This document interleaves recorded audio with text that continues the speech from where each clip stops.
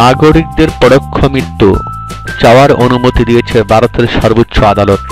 আজ শুক্রবার এক আদেশে দেশটির সুপ্রিম কোর্ট বলেছে, কোনো ব্যক্তির লিখিত আবেদনের পরিপ্রেক্ষিতে মৃত্যু ত্বরান্বিত করার জন্য চিকিৎসা ব্যবস্থা প্রত্যাহার করা যাবে। জীবন সংকটে থাকা রোগীর ক্ষেত্রে আদেশ প্রযোজ্য হবে। বিবিসির খবরে বলা হয়েছে, পরোক্ষ স্বেচ্ছা মৃত্যু চেয়ে করা লিখিত আবেদনে গুরুতর অসুস্থ ব্যক্তি জানাতে পারবেন। তিনি বেঁচে থাকতে চান নাকি মরে যেতে চান? ভারতের সুপ্রিম কোর্টের বিচারকেরা বলেছেন, মর্যাদার সঙ্গে মৃত্যুর অধিকার একটি মৌলিক অধিকার এবং এই বিষয়ে কোনো ব্যক্তির লিখিত ইচ্ছা আদালতের অনুমোদন ক্রমে কার্যকর করা যাবে। কোনো কোনো ক্ষেত্রে পরোক্ষ স্বেচ্ছা মৃত্যু কীভাবে কার্যকর হবে, তা বিস্তারিত নির্দেশনাও শুক্রবারের রায়ে উল্লেখ করেছেন সুপ্রিম কোর্ট। তবে কোনো রোগীকে জোর করে স্বেচ্ছা মৃত্যুর আবেদন করানো হয়েছে কিনা তা কীভাবে আদালত যাচাই করবেন, সেটি স্পষ্ট হয়নি আদালতের রায়ে। আদালত আরও বলেছে, গুরুতর অসুস্থ জীবন সংকটে থাকা ব্যক্তির আত্মীয় ও পরিবারের সদস্যরা আদালতে পরোক্ষ স্বেচ্ছা মৃত্যুর আবেদন করতে পারবেন।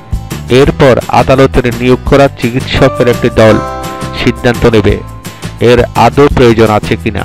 পরোক্ষ স্বেচ্ছা মৃত্যু কি? জীবন সংকটে থাকা একজন রোগীর স্বেচ্ছা মৃত্যু কার্যকর করা যায় দুটি উপায়ে। একটি হলো, রোগীকে জীবিত রাখতে যেসব জরুরি পদক্ষেপ নেওয়া প্রয়োজন, তা থেকে বিরত থাকবেন চিকিৎসকেরা। অন্যটি হলো, যে উপায়ে রোগী জীবিত আছেন, তা বন্ধ করে দেয়া। এক্ষেত্রে জীবন জীবন রক্ষাকারী যন্ত্রপাতি বা কৃত্রিম শ্বাস প্রশ্বাস যন্ত্র বন্ধ করে দেওয়া যাবে। নল দিয়ে কৃত্রিমভাবে খাবার সরবরাহ করার প্রক্রিয়া বন্ধ করা যেতে পারে। আবার পরোক্ষ স্বেচ্ছা মৃত্যু কার্যকরের জন্য জীবন রক্ষাকারী অস্ত্রোপচার না করা ও ওষুধ না দেওয়াও একটি পদ্ধতি। স্বেচ্ছা মৃত্যুর অনুমতি চেয়ে আদালতে করা এই আবেদনে আদালতকে যুক্তিতর্ক উপস্থানের সময় আবেদনকারীরা বলেছিলেন, যদি কোনো ব্যক্তি জীবন সংকটে থাকেন তবে মর্যাদার সঙ্গে মৃত্যুর অধিকার তার আছে। আবেদনকারীদের প্রধান বিপুল মুদগাল বলেন, এটি একটি যুগান্তকারী রায়। কারণ এটি এমন এক সময় ঘোষিত হয়েছে যখন চিকিৎসা বিজ্ঞানের কল্যাণে মানুষকে কৃত্রিম উপায়ে বাঁচিয়ে রাখা সম্ভব হচ্ছে। এটি করার জন্য হাসপাতালগুলো অনেক অর্থ কামাই করে। ভারতের সুপ্রিম কোর্ট গত বছরের অক্টোবরে এক পর্যবেক্ষণে ইঙ্গিত দিয়েছেন পরোক্ষ স্বেচ্ছা মৃত্যুর স্বীকৃতি দেওয়া হতে পারে।